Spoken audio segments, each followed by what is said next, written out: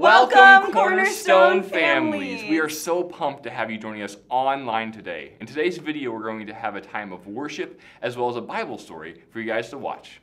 And afterwards, you can check out our Cornerstone Kids Facebook page to find the parent guides for today's lesson. Make sure you gather as a family and go through those activities and questions together. Yeah, now let's hop into worship.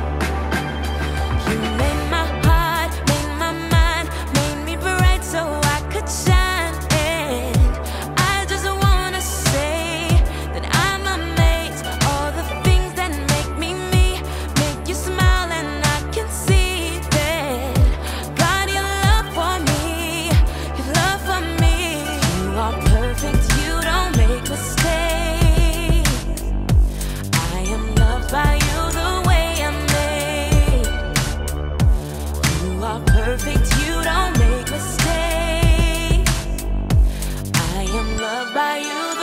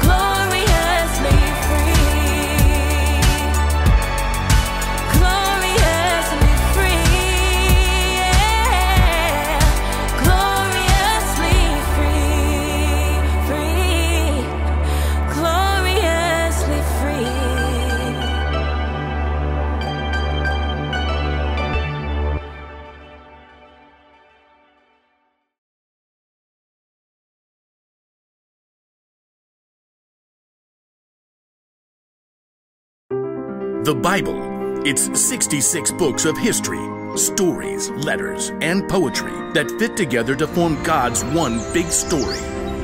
The epic adventure of how He created us and loves us so much that He made a way to rescue us. As we travel through the Bible, from Genesis to Revelation, we discover people who met God and found their lives changed forever. Now, for an amazing story.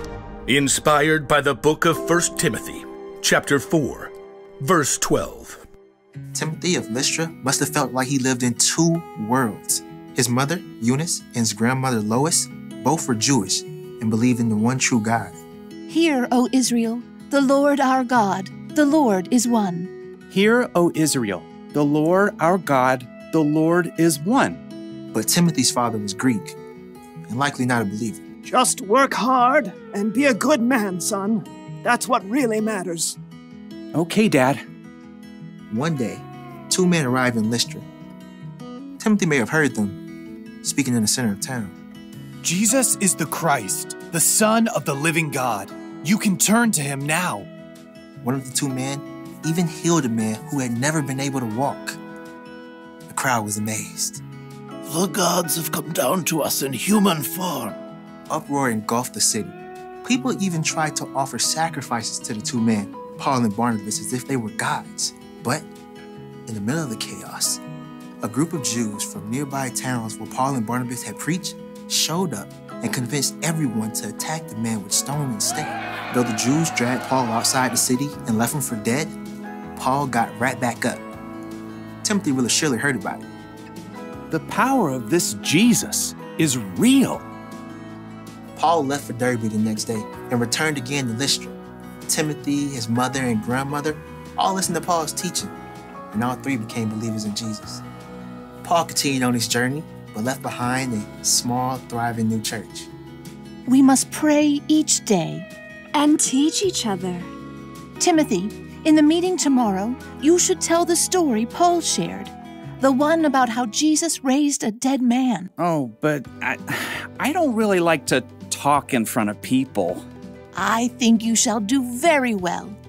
By the time Paul had returned several years later, Timothy had become a faithful disciple of Jesus. Everyone at the church spoke well of him. Timothy knows all the Hebrew scriptures. He is kind to everyone, not just those who are Jewish. And his father is a Greek man? Oh, yes. Paul was looking for someone to help encourage new churches, someone who knew God's words, someone who could speak to people from all different backgrounds. Timothy, I'd like you to travel with me and Silas and Luke. Me? Of course, you. Oh, but there are others older than me with more experience. They're bold. They're they're they're better at speaking. You're the one God has chosen for this job. Wow. Well, okay. The elders of the church laid their hands on Timothy and prayed for him. God's Spirit provided Timothy with everything he would need for the work ahead. Amen. We leave tomorrow. Over the next years, Timothy traveled with Paul all around the land to help encourage believers and start new churches. While they spent time in Ephesus, Paul gave Timothy a special mission. I want you to go to the church in Corinth. On my own? You're like a son to me. I trust you completely. The church there needs to see an example of what it means to follow Christ. And, well, you're it. Timothy went to Corinth. Over the years, Timothy became Paul's right hand man. Paul even put him in charge of the church in Ephesus. The leaders in Ephesus are so much older than I am. Will they even listen to me? Your age doesn't matter. As Timothy settled in Ephesus, Paul wrote him letters to encourage him. Don't let anyone look down on you because you're young. Set an example for the believers in what you say and how you live. Also, set an example in how you love and in what you believe. Show the believers how to be pure. Though Timothy met Paul when he was a very young man, he was able to play an important part in helping Paul build up the early church and sharing their incredible news of Jesus.